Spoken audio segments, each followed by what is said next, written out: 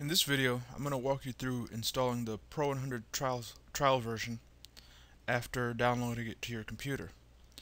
A number of popular places to uh, download the trial version would either be to directly to your desktop like I have, or uh, a lot of programs will default to the downloads directory on Windows.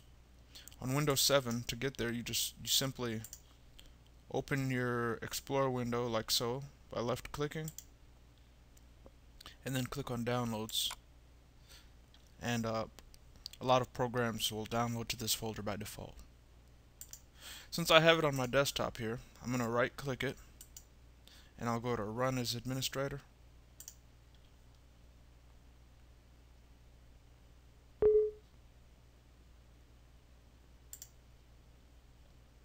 So what I did is I right clicked the file, chose run, and then I left clicked on run it as run as administrator, and then I get this. So I'll just go through the prompts.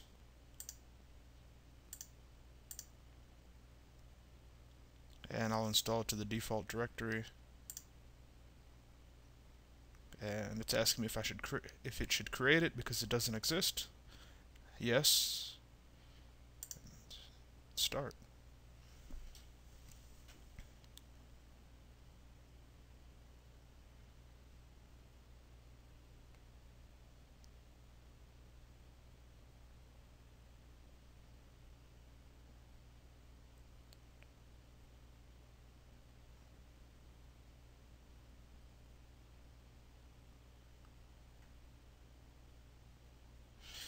The speed of the install will vary depending on uh, on your computer.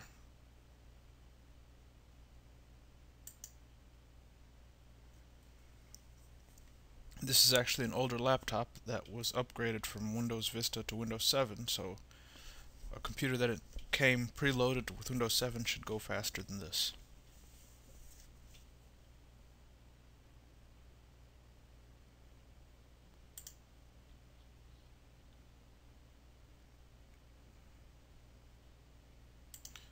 Okay. So now if I go to my start menu and go to all programs oops let me start over. Go to my start menu then go to all programs and I can see Pro 100 is, is in the list now. Just uh, left click it